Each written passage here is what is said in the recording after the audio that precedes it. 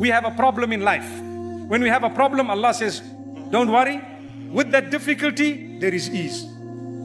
You will never know what ease is all about unless you've been through difficulty.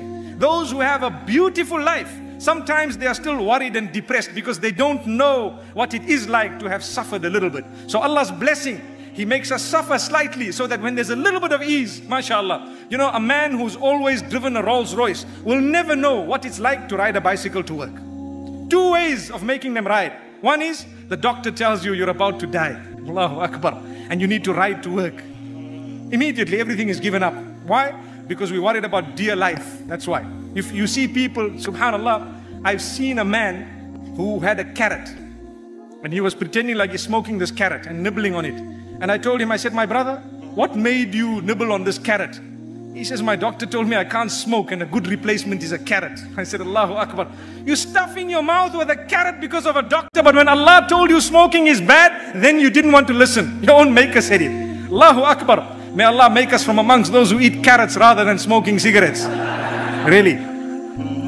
So, my brothers and sisters, it's a reality. Whenever there is a person who has tasted goodness alone and they don't know what difficulty is about, there comes a time when they do not appreciate what they have. So, like I was saying, two ways. One is Allah snatches it away from you. So, you now have nothing. So many people have climbed the peak in terms of materialistic items and then they've dropped down the mountain. They say it's easier to drop from the top than it is from the bottom. Allahu Akbar. When you're right at the top, a small movement and you roll down. And when you're at the bottom, they can kick you. If you drop, you stand up again and you're walking. Same level, mashallah. It's all about altitude. May Allah protect us. Another thing is when you drop from the top, greater likelihood of breaking more bones. When you drop from the bottom, I might have just hurt my head slightly, just say ouch and carry on. May Allah subhanahu wa ta'ala protect us and grant us humbleness. So Remember, sometimes Allah wants you to go down so that you appreciate the bicycle after you had nothing. Yet, 10 years ago, you had the Rolls Royce. May Allah bless us.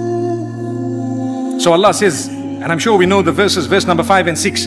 فإن مع العسر يسرا إن مع العسر يسرا Indeed, with every difficulty or with difficulty there is ease.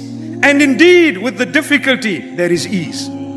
Some of the scholars of linguistics, they have analyzed the statement and they say Al-Usr is referring to the same difficulty. And Yusr, because it is common, is referring to a different point of ease. So this verse would mean that with difficulty there is ease and with the same difficulty there is another point of ease as well. Which means with every difficulty there are two points of ease.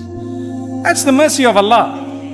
May Allah subhanahu wa ta'ala alleviate the suffering that we are all going through in our own little ways. Remember, it's a gift of Allah to keep you in check sometimes, to keep you calling out to Him. May Allah open our door.